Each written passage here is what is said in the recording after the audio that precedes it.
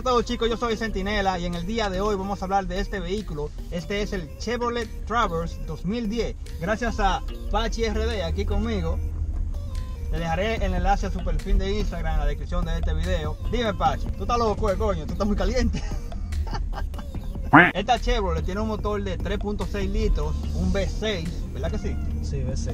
V6. ¿Qué tú opinas de este vehículo? Un vehículo bastante fuerte. Familiar, loco, mira, tiene tres filas de asiento. Es un vehículo bastante grande, amplio. Para toda la familia, ya saben, tres la filas de familia, asiento. Aquí cabe más o menos como nueve chamaquitas. 4x4. Una transmisión automática de esa velocidad de 4x4. Exacto. Y es una hueva que, ¿Cómo la autonomía de este vehículo? que para ser un vehículo tan grande es súper económico. Súper económico. Sí. ¿Cuánto da? Está con 17 millas por galón en ciudad, ¿verdad que sí? Sí. Y como 24 en la autopista. En 24 en autopista. Para ser tan grande este vehículo, ¿verdad? Que la autonomía está muy buena. Sí, tiene un rendimiento muy normal en, en cuanto a consumo. El que está impuesto a andar en carro V6 no se lo va a encontrar que le consume mucho ni nada, porque es un vehículo que está a la vanguardia de la tecnología, no está consumiendo tanto. ¿Qué tú opinas de la parte de afuera de este vehículo? Este vehículo se ve demasiado grande. Sí, tiene un cuerpo bastante aerodinámico, grande, y creo que por eso que tiene un buen despliegue en el, en el highway cuando tú vas manejando. Sí, por la aerodinámica. Por la aerodinámica. Claro, no es como estos camiones que tú ves que Sí, cuando van es como si fuera una caja cuadrada que va parando todo el aire. Eso consume pila. Exactamente. Este vehículo es todo lo contrario a eso. Sí, un vehículo bastante cómodo, una suspensión bastante buena. Afuera se ve que es bien grande, bien amplio. La luz de frente se ve bien. Para ser 2010 yo creo que este vehículo está al día. Todavía en estos tiempos. Sí. En la parte de adentro, ¿cómo están los asientos? Son chulos, tiene LED por aquí, mira, ve esto. No sé por qué no pusieron todos los asientos así en LED. Sí, porque esta es la edición sencilla de ella. Sí. Viene en pana. So, me imagino que la más equipada. Viene con asiento de LED, viene con. Con su y todo eso. Su sunroof, exacto. Sí. Noté que a pas- tú dijiste que esta es la sencilla. Sí, esta es la sencilla. Entonces, a pesar de que esta es la sencilla, también tiene botones acá atrás para cambiar lo Sí, que es tiene eh, sistema de aire. sistema de aire y todo eso. Sí, bastante equipada para ser un vehículo sencillo.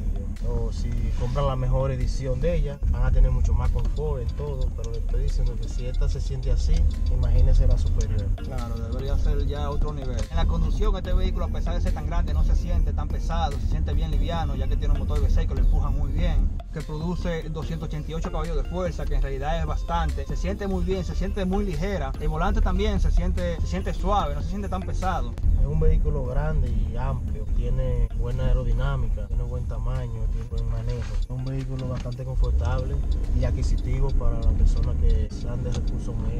¿Cuánto cuesta más o menos este vehículo? Este vehículo usado se encuentra alrededor de 7 mil dólares. Alrededor de 7 mil dólares, 2010. Sí. Está bien. ¿Con cuántas millas más o menos? Sí, esta tiene 120 mil millas. Pero en realidad este vehículo está bien cuidado, loco, para tener 120 mil millas. Sí, está bastante nuevo. El interior no se ve que está eh, maltratado, a pesar de que sea, de, de ser un vehículo familiar de tres filas de asientos. Imagino que los anteriores dueños tenían muchos hijos también. Es posible que esa gente tiene familia grande compra vehículos grandes. Sí. El tacómetro también chulo como tiene, está separado los dos. En un lado tiene la revolución y en el otro lado la velocidad en la que vamos. Está súper bien eso.